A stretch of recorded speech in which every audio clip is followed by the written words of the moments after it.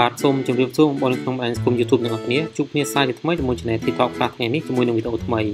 ហើយថ្ងៃនេះផងដែរខ្ញុំសូមធ្វើការណែនាំបងប្អូនតាក់ទងជាមួយនឹងកម្មវិធីមួយដែលមានឈ្មោះថា YouTube Kit កម្មវិធី YouTube Kit នេះផងដែរគឺជាកម្មវិធីគឺជាកូនកម្មវិធីមួយដែលផ្ដាច់ចេញពីក្នុង YouTube ហើយជាកម្មវិធីមួយដែល YouTube បង្កើតឡើងយ៉ាងពិសេសសម្រាប់កុមារតែម្ដងដោយសារតែនៅក្នុងកម្មវិធីនេះគឺមានបណ្ដុំនៅវីដេអូសម្រាប់កុមារជាច្រើនរួមមានទាំង music ហើយនឹងមេរៀនហើយនឹងមេរៀនល្អល្អជាច្រើនសម្រាប់ក្មេងៗដើម្បីគាត់មើលដើម្បីបណ្ដុះគំនិតនិងបញ្ញារបស់ពួកគាត់ផងដែរហើយកម្មវិធីនេះផងដែរបងប្អូនអាចធ្វើការ download បាននៅលើ Apple Store របស់ Apple និងលើ Play Store របស់ Android បាទហើយបងប្អូនអាចធ្វើការចុចលើ link ដែលខ្ញុំដាក់នៅខាងក្រោមវីដេអូក្នុង description វីដេអូក្រោមវីដេអូរបស់ខ្ញុំដើម្បីចូលទៅកាន់ App Store ដើម្បី download កម្មវិធីនេះ direct ក៏បាន ឬក៏បងប្អូនអាចចូលទៅក្នុងអាចផ្ទាល់បើសិនបងប្អូនប្រើ iPhone ឬ iPad បងប្អូនអាចចូលក្នុង App Store ហើយបងប្អូនចុចលើពាក្យ search មកហើយបងប្អូនចុចវាយពាក្យ YT Kit ចូលទៅបងប្អូនឃើញកម្មវិធីហ្នឹងហើយដូច្នេះបងប្អូនចុច download មកបាទនៅលើ app នៅលើ Play Store របស់ Google ក៏ដូចគ្នាដែរបាទដូច្នេះកម្មវិធីមួយនេះគឺវាដំណើរការបានទាំងប្រព័ន្ធប្រតិបត្តិការ Android និង iOS ផងដែរហើយខ្ញុំសូមធ្វើការណែនាំបងប្អូនទាក់ទងជាមួយនឹងការប្រើប្រាស់នៅកម្មវិធី YouTube Kit នេះ ថាតើបងប្អូនគួរទៅទៅប្រើប្រាស់ដោយវាមិនហើយដើម្បីកំណត់ពេលវេលាដើម្បីកូនកូនបងប្អូនមើលវីដេអូលើ YouTube Kit នេះតាមពេលវេលាដែលបងប្អូនបានកំណត់ដូច្នេះកុំឲ្យខាត់ពេលវេលាយូរយើងចាប់ផ្ដើម review នៅកម្មវិធី YouTube Kit ទាំងអស់គ្នាបាទបាទនៅពេលបងប្អូន download កម្មវិធីនឹងបានហើយបងប្អូនចុចលើកម្មវិធី YouTube Kit នឹងមកដើម្បីបើកវាបងប្អូនរងចាំដើម្បីវាលើ flash screen នេះហើយសិនទៅបាទដូច្នេះដល់ថ្ងៃនេះ បងប្អូនចុចលើប៊ូតុង get started នឹងមកដើម្បីចាប់ផ្ដើមចូលនៅក្នុងកម្មវិធី YouTube Kit នឹងតែម្ដងបាទបាទពេលបងប្អូនជុំឡើង screen កាលនេះហើយគឺ YouTube Kit វាតម្រូវឲ្យយើងវាយនៅ password default មួយដែលវាផ្ដល់ឲ្យយើងនៅលេខចំនួន4ខ្ទង់ដែលវាដាក់នៅខាងក្រោមនោះ parent only to proceed please enter the number 9950ដូច្នេះបងប្អូនវាយអឺនៅ passcode 4ខ្ទង់ដែលវាផ្ដល់ឲ្យយើងនឹងមក ដើម្បី log ចូលតែម្ដងទេហើយលើកក្រោយបងប្អូនចូលមក YouTube គីលើកក្រោយអត់មានត្រូវវាយ password ម្ដងទៀតទេហើយបងប្អូនវាយនោះដើម្បី log ចូលដើម្បីដូរ password ខ្លួនឯងពេលក្រោយបាទនេះបងប្អូនចាប់តាមវាយអស់995 0ដូច្នេះដើម្បីចូលក្នុង YouTube content របស់ YouTube Kit យើងត្រូវវាយ password ចូលតែម្ដងបាទដូច្នេះបងប្អូនបាទតែនេះគឺវាសួរយើងថាយើងចង់បើកនៅមុខងារ search ឬក៏ចង់បិទបាទអាខាងឆ្វេងគឺបើកខាងតាមគឺបិទដូច្នេះសម្រាប់ មុខងារ search ខ្ញុំសូម recommend ឲ្យបងប្អូនបើកចោះព្រោះដើម្បីងាយស្រួលក្នុងការ search វីដេអូណាដែលបងប្អូនចង់រកបាទនេះបងប្អូនគេលើប៊ូតុង search turn search on នោះមកបាទពេលនេះវានឹងធ្វើការបើកនៅវីដេអូរបស់ YouTube គេដែរបាទទីនេះគឺជា home screen ដំបូងដែលបងប្អូនចូលមកក្នុងកម្មវិធី YouTube សម្រាប់កុមារហើយវាមានវីដេអូច្រើនមែនទែនហើយវាចេញចេញពី category នៅខាងលើវាមាន show មាន song music វាមាន learning ហើយនឹងចុងក្រោយនោះគឺជាមួយនឹង explore ដូច្នេះវានៅលើ YouTube Kids គឺមានវីដេអូច្រើនមែនទែនសម្រាប់ឲ្យកុមារគាត់ធ្វើការទស្សនាដើម្បីទទួលបានចំណេះដឹងថ្មីថ្មីប្លែកប្លែកនិងទាក់ទងជាមួយនឹងនៅតុក្កតាកាទូនមួយចំនួនដែលគាត់ចូលចិត្តមើលបាទ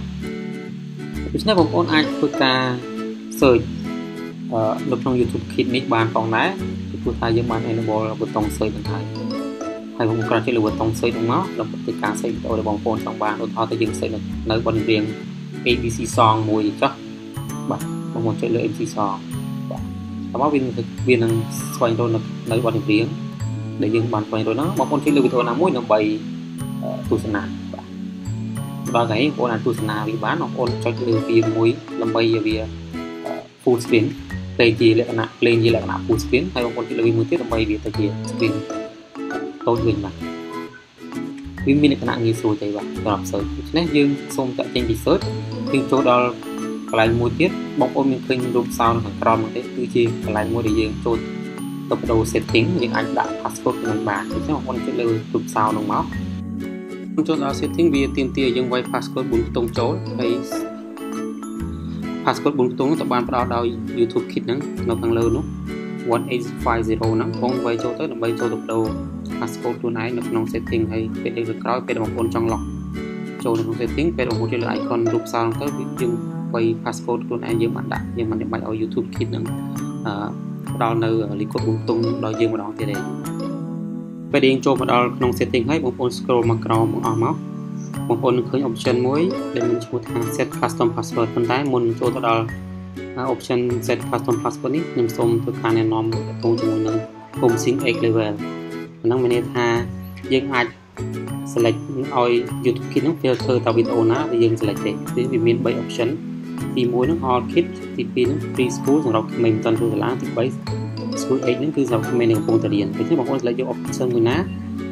វានឹងធ្វើការ sort តវីដេអូភេទហ្នឹងទេដូច្នេះបើយើងយក all kit វានឹងធ្វើការ list វីដេអូមកទាំងអស់ បាទពេលនេះបងប្អូនចូលនៅក្នុង apparent verification ហ្នឹងមកបងប្អូនចុចលើ set custom pass passcode ហ្នឹងទៅបងប្អូនវាយ password 4ខ្ទង់ខ្លួនឯងចូលបងប្អូនវាយអ្វីក៏បានដែរបងប្អូនចាំទីនេះដូចល្អ password របស់ខ្ញុំ1 2 3 4បងប្អូនវាយ passcode ដែលនឹងចូលម្ដងទៀត1 2 3 4បាទដូច្នេះ passcode តទៅមកយើងទៅបានយើងដាក់រួចរាល់ហើយដូច្នេះរាល់ពេលបងប្អូន lock ចូលនៅក្នុង setting ឬក៏បងប្អូន ចូលនៅក្នុង option មួយដើម្បីកំណត់ម៉ោងដើម្បីគុណគុណបងប្អូនមើលវីដេអូគឺបងប្អូននឹងវាយ passcode ដែលបងប្អូនដាក់មុននឹង4ខ្ទង់ហ្នឹងទៅជាការស្រេចហើយបាទពេលនេះយើងបានត្រឡប់មកកាន់ home screen របស់ YouTube វិញហើយហើយរូបនាឡិកា icon មួយនៅក្នុងមុខនេះគឺជាកន្លែងមួយដែលវានេះនៅវីដេអូនេះដែលគុណគុណបងប្អូនធ្លាប់មើលកន្លងមកបាទបងប្អូនគ្រាន់ចុចលើវាមកវានឹង slide នៅមកខាងស្ដាំហើយវានឹង link នៅវីដេអូរបស់ដែលគុណគុណបងប្អូនធ្លាប់មើលកន្លងមកបាទដូច្នេះបងប្អូនចុចលើរូប icon home ដើម្បីត្រឡប់មកកាន់ home screen វិញបាទ គឺជាពេលវេលាដែលយើងត្រូវចូលទៅកំណត់ option ដាក់ពេលវេលាកំណត់ណាមួយដើម្បីឲ្យគុណគុណបងប្អូនមើលវីដេអូនៅលើ YouTube Kit ហ្នឹងតាមពេលវេលាដែលបងប្អូនបានកំណត់បាទដូច្នេះបងប្អូនចុចលើ icon រូបសោហ្នឹងមកតមកបងប្អូនវាយ passcode 4ខ្ទង់ដែលបងប្អូនបានដាក់មុននឹងដូចដែលបងប្អូនដាក់ខ្លួនឯងមុននឹងមកតបងប្អូនចុចលើ timer ពេលដល់ចូល timer វានឹងចូលដល់កន្លែង set time limited បាទនៅកន្លែងទៀតនេះយើងអាចកំណត់ពេលវេលាឲ្យ កូនកូនបងប្អូនមើលមើលវីដេអូលើ YouTube Kit ហ្នឹងបានរយៈពេល1ម៉ោងដូច្នេះនៅលើពីរយៈពេល1ម៉ោងហ្នឹងបងប្អូនអាចចន្លោះនាទីមួយណាក៏បានដែរបើសិនបងប្អូនចង់កំណត់5នាទី10នាទី5 10នាទីកន្លះម៉ោងឯតាមបងប្អូនកំណត់តែវាអត់ឲ្យលើសពី1ម៉ោងទេដូច្នេះយើងដាក់សាកល្បងទាំងអស់គ្នាក្នុងរយៈពេល1នាទីសាកមើលថាតើវាពិតជាដំណើរការដោយរបៀបណាបាទបន្ទាប់ពីយើងបានកំណត់នាទី1នាទីហើយ តោះមកបងប្អូនចុចនៅលើប៊ូតុង start timer មកដើម្បីចាប់ផ្ដើមដំណើរការ set ពេលវេលានឹងតែម្ដងបាទដូច្នេះនៅពេលដែលយើងបានកំណត់ចំនួនទីដែលយើងបានកំណត់នឹងហើយហើយយើងចាំមើលថាតើនៅពេលដែលកូនកូនរបស់បងប្អូនហ្នឹងមើលកំពុងតែមើលកម្មវិធីវីដេអូនៅលើកម្មវិធី YouTube Kit នៅពេលដល់ម៉ោងយើងបានកំណត់តើនឹងមានអ្វីកើតឡើងចំពោះកម្មវិធី YouTube Kit ដូច្នេះយើងតាមបានទាំងអស់គ្នាបាទ